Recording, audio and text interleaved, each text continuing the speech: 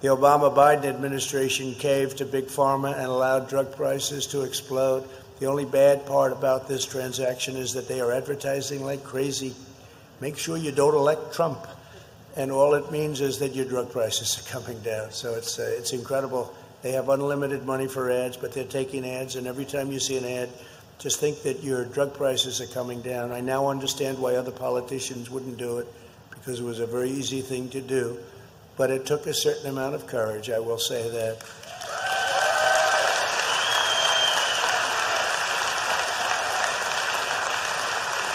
So it means that I'm taking on big pharma like never before. Nobody's done this before. They understood favored nations. Favored nations is you get the best price as the lowest, no matter where it is, anywhere in the world.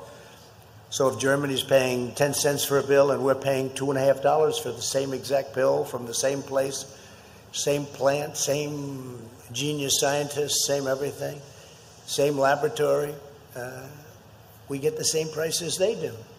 You're talking about numbers that are unthinkable. Favored nations clause.